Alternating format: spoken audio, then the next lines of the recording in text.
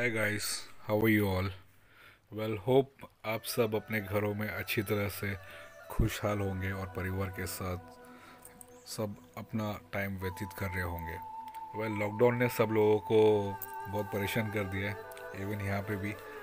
सो so, सोचा क्यों ना जो एक्सपीरियंस मेरा लाइफ का है वो मैं आप लोग के साथ भी शेयर करूँ। सो हियर वी गो सबसे पहले मैं आप लोग को ये बताऊँगा कि सी के बिना और विदाउट चिलर आप प्लांटेशन टैंक कैसे सेटअप कर सकते हैं? वेल well, ये जो टैंक है ये five feet by two feet by twenty four inch का हाइटेड टैंक है। जिसमें देख लीजिए आप स्क्रीन में दिख रहा है no chiller no C O two nothing इसमें पी एल लाइट्स यूज़ की है मैंने। सबसे पहले आप टैंक में जो है सैड एक्वास्केप कर लीजिए जिस तरह से मैंने किया हुआ है। आपको अपना डिज़ाइन करना है आपको अगर रॉक्स यूज़ करना है आप रॉक्स यूज़ कर सकते हो लेकिन मैंने सिर्फ़ सैंड यूज़ की है। सैंड में मैंने नेचुरल सैंड और एक्वाली यूज़ किया है। उसके बाद मैंने ड्री फ़ूड देख लीजिए किस तरह से डिज़ाइन रखा है। आप अपने हिसाब से डिज़ाइन रख सकते हैं जैसा भी आपको लगता है कि आपको वैसा डिज़ाइन करना है। बट मैंने थोड़ा टिल्ट किया है लेफ़्ट और थोड़ा राइट साइड में थोड़ा ब्रांचेस अप साइड में किए हैं।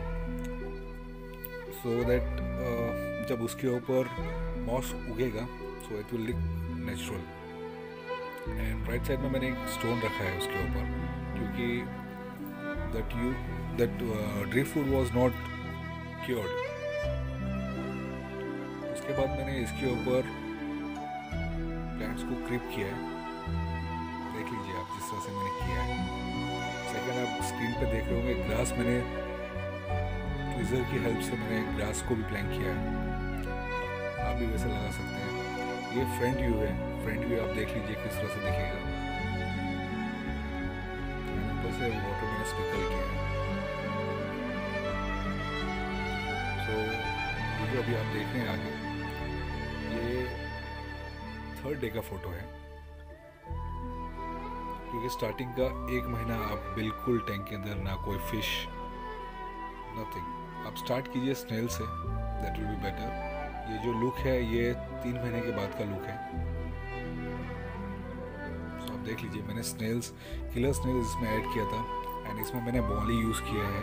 मॉली इसलिए यूज़ की है क्योंकि टैंक में जितना भी एल्गे आता है मॉस्क जो अनवांटेड एलगे रहता है तो मॉली जो है वो बेस्ट फ़िश है, जो कि आपके डेड प्लेन्स और जो एलगे आता है ब्राउन एल्गे उसको खाती है।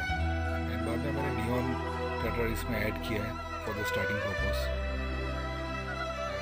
see how it is ये छः महीने के बाद का वीडियो है कि आप देख रहे हैं so if you really like so subscribe my channel and for more videos follow me thank very much video में कोई भी चीज़ अगर जो मुझसे रह गया होगा तो आप क्वेश्चंस में मैसेज में डाल सकते हैं, क्योंकि मैं बाकी और भी वीडियोस बनाने वाला हूँ रिलेटेड टू दिस सेटअप तो अगर जो आपको लगेगा, कोई भी आपको क्वेश्चन पूछे सो आप प्लीज़ मैसेज में मेरे को ड्रॉप कर दीजिए. I reply to you and thanks thanks for watching my video thank you very much good bye